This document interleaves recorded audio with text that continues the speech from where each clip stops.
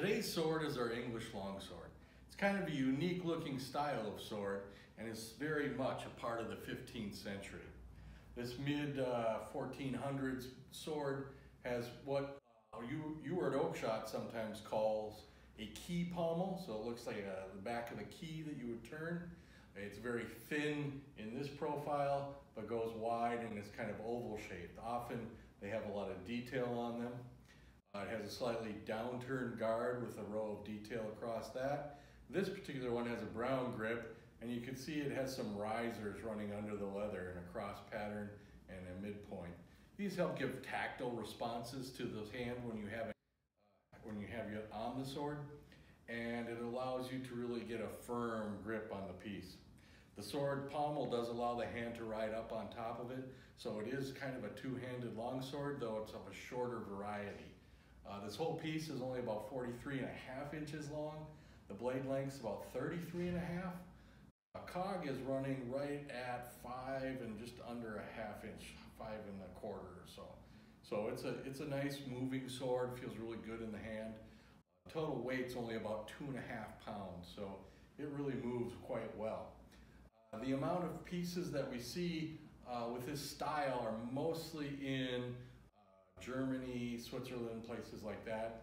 We call it the English longsword because some of the detailing we have was in an English collection of a painting actually. We took the detail of the piece from the Trinity altar piece.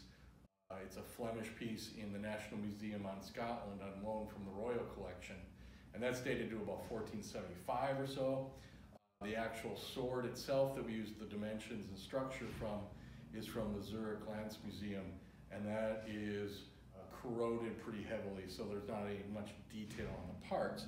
So we wanted a piece that had some, you know, pizzazz to it when we were doing it, so we took some detail from that painting to create the piece in its totality.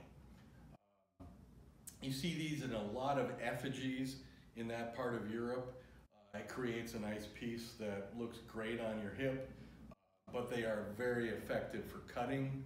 Uh, a lot of people like these that aren't uh, looking for that big massive type longsword to do cutting with. They really enjoy cutting with this piece. Some people actually recommend it for people with a slightly shorter stature. They think this piece is an excellent cutter. And this works pretty well uh, for a lot of varieties of different types of use, cutting, and practice for the longsword. So if you're interested in a longsword that's maybe not as big as some of the other ones on the marketplace today, and looking for something a little more unique, some people love this design. They think it's the best design ever. Uh, other people are put off by this. It's one of those types of pieces that ebbs and flows in its popularity. You know, for, in a real way, what happens is, as people get into swords, they kind of like a certain style. And as they study and spend more time around swords and experience them from more sources, they will evolve how they like the swords and the different styles. So some people that years ago would never have bought this sword now are some of its biggest fans. And that's just the way it is in a hobby where you're interested in a lot of things and there's so much to learn. So this sword would be a great addition to your uh, collection. And if you're interested in something like this, let us know. We'll have one on the way to you right away.